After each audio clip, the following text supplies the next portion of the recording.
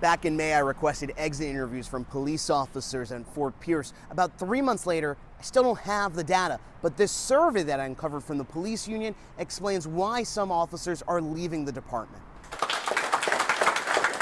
One by one, We are a training ground agency. Fort Pierce police officers claim they're not paid enough. Currently, as a single father of two children, I am struggling to meet ends meet. Data we found shows Fort Pierce police officers make less than most agencies.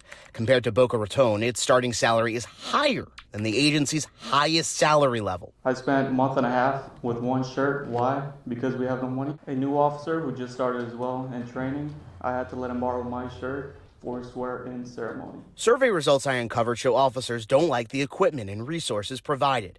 Data also shows officers don't like training opportunities or communication between management and employees. We reached out to the Fort Pierce Police Department. It says it recognizes the police union and its membership's need to fulfill their mission. City of Fort Pierce budget is uh, maxed out at $58 million. Records show the St. Lucie County Sheriff's Office budget in 2023 was $96 million. Fort Pierce's entire budget is about $59 million. Why is that so significant? It's significant because we simply we don't have sufficient funds to cover all of our needs. For now, officers will voice the consequences. But I'm sick and tired every night. Jumping up one, two in the morning, bullets going all over the place.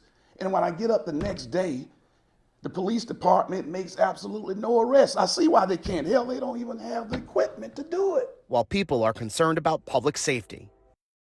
About 20 officers, the survey says, are likely to leave the department within a year. That's about a third of the department's force.